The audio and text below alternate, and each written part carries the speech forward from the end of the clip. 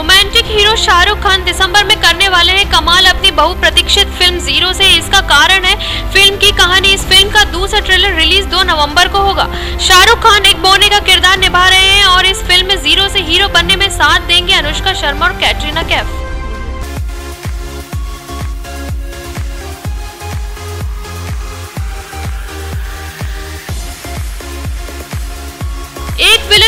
सिद्धार्थ मल्होत्रा अपने tough look के लिए जाने जाते हैं सत्यमेव जयते की सफलता के बाद 2 अक्टूबर 2019 को रिलीज़ होने वाली फ़िल्म मरजावा में दिखेंगे।